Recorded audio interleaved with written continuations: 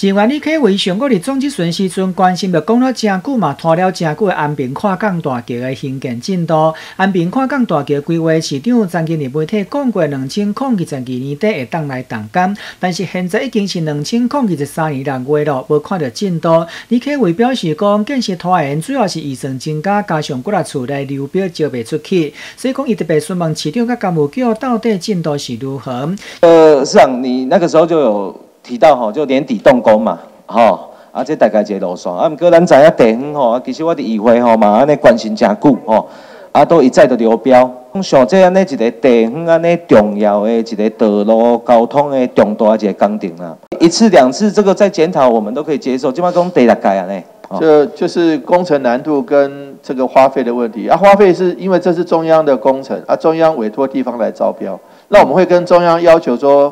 阿力这这样子的经费，你只有阳春面的经费，可能没有办法吃满汉全席了。所以说，希望说能够物调，还有工程难度方面能够增加经费。对啊，这个经费应该也是都没有问题的吧？中央的做做调整了吗？就是不够多。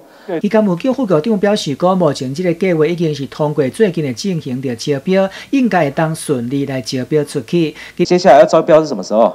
哎，六月八号，六月八号，啊，这个安尼有信心吗？安尼有法度完成吗？只要一家就可以开这个标了，是啊，所以这个这一次标出去的机会是很大的。对，是应该有机会的。另外，对着台六在一线延伸到高阳，目前嘛无具体进度。伊可为是提出的几个方案，建议市府希望建设赶紧完成，以改善安平市区的交通问题。